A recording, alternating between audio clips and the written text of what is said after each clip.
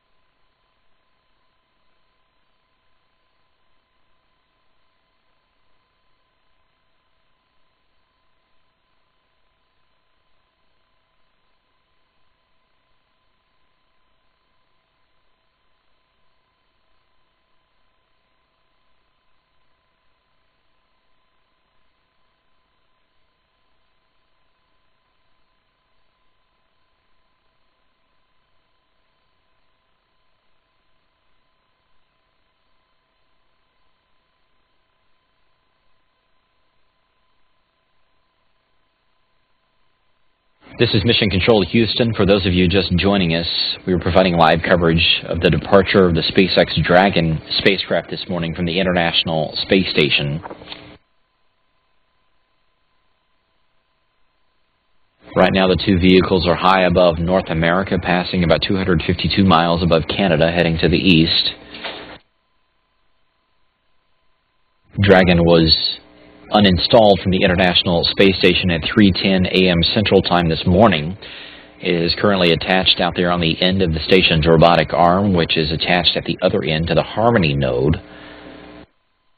Checkouts are continuing of both the uh, space station and Dragon, ensuring that things are ready to go for the release, which is coming up 53 minutes from now. That's release time scheduled for 5:56 a.m. Central Time, 6:56 a.m. Eastern Time. There will be a series of departure burns that Dragon will conduct. The first one at 5:57 a.m. Central Time, the second one at 5:59, and the third one at 6:06 a.m. Central Time. At that same time, 6:06, Dragon will be crossing what is called the Keep Out Sphere. This is the imaginary circle drawn around the International Space Station, and then it will be on its way. The deorbit burn will occur at 10:42 and 33 seconds. Again, that is Central Time, and then splashdown 214 miles off the coast of Baja California will occur at 11:34 and 56 seconds.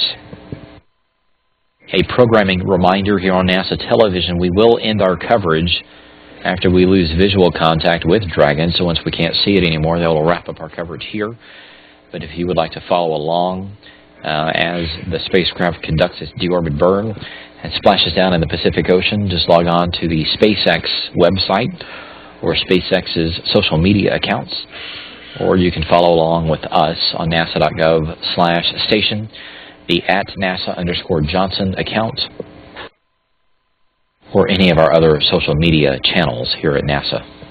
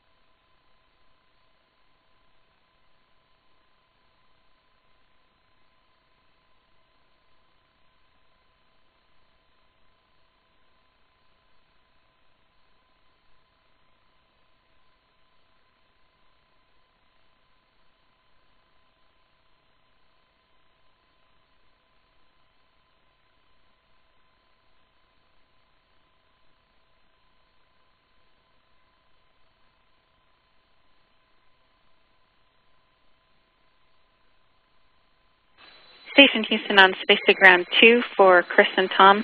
No response required, but we are all ready for you for procedure 1 decimal 320, the RWS setup.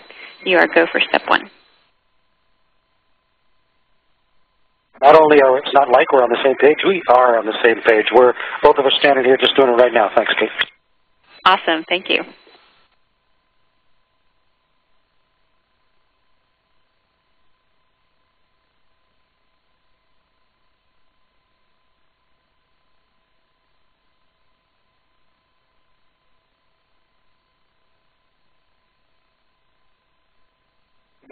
And Kate, here come the uh, positive and negative hard stops in 1-1. Copy. Thanks.